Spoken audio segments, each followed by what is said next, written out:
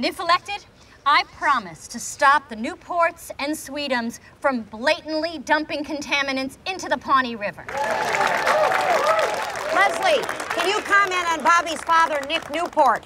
Nick Newport has been intimidating and bullying and poisoning this town for years. Frankly, he's a real jerk. And if he thinks he can buy this election for his son, he's wrong. Sorry, I meant can you comment on Nick Newport dying earlier today?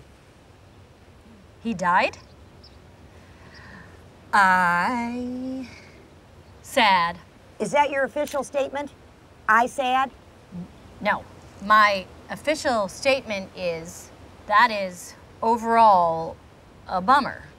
Oof. And and together we can build a better Pawnee. No, this isn't the time. No, guys.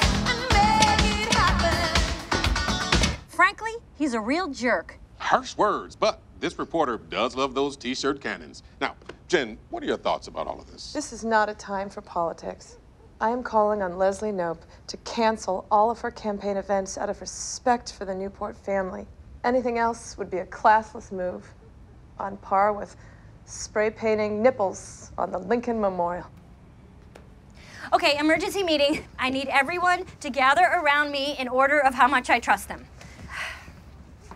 Here's the situation. A man has died, but that man is 98 years old and he's an awful man. However, he is a man and he died. Also, you called the dead man a jerk. However, he was a jerk. He put a lot of people out of work. He had tons of mistresses. He polluted this town.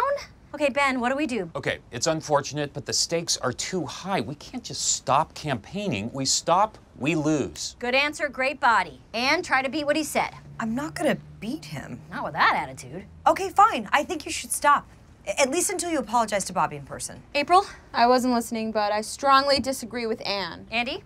If if, if the if the guy Okay. if- I absolutely think that we should keep campaigning. The worst possible thing we could do would be to stop because if the campaign stops, we all stop. And stopping is certain death. Who wants a panini? Anyone? Everyone? I'm gonna say everyone. All right. All right, Leslie, what's your call? Ann, there is nothing harder in the entire world than saying no to your beautiful face. But I'm going to. No. We're going to keep campaigning, okay? But we're going to do it in a classy and respectful way to get Ann off of our backs. What's next on the schedule?